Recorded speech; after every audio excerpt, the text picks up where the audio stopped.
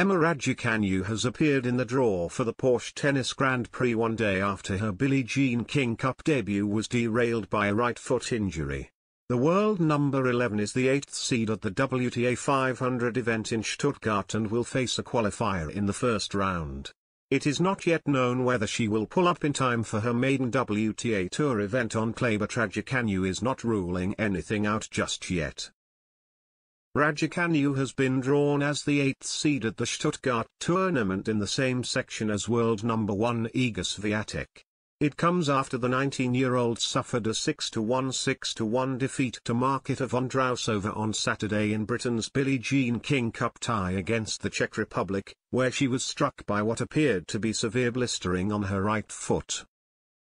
After the match, the US Open champion admitted to feeling helpless on court and said she was forced to bathe her feet in surgical spirit but did not yet rule out an appearance in Stuttgart next week, saying the tournament was not out of question following her latest injury. It appears Raducanu has dropped a hint about her participation as she has kept herself in the draw.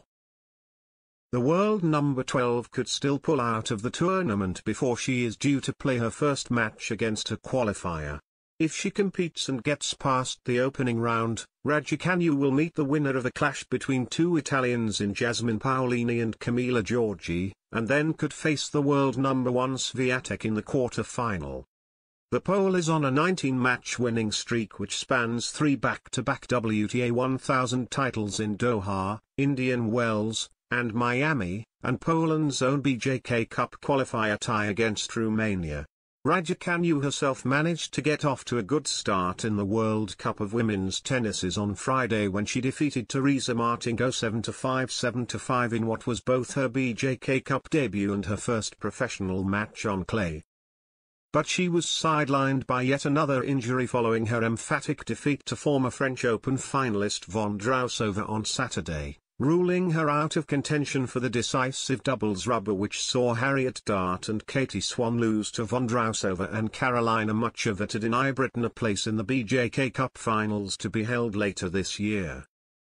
Raducanu has suffered multiple injuries and niggles so far this year in what is her first full season on the Pro Tour. Blistering affected her previously at the Australian Open when she could barely serve or hit forehands in her three-set second-round loss to Danka Kovinic with severe blistering on her hands, and she then picked up a leg injury in Mexico before suffering a stiff back in Indian Wells.